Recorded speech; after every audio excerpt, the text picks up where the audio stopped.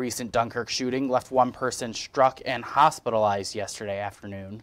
The Dunkirk Police Department were called to the Maple Avenue and East 6th Street area in the city of Dunkirk at around 4.25 p.m.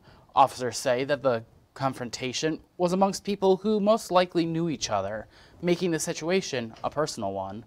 The victim was promptly taken to Brooks Memorial Hospital and later transported by Mercy Flight to Erie Community Medical Center.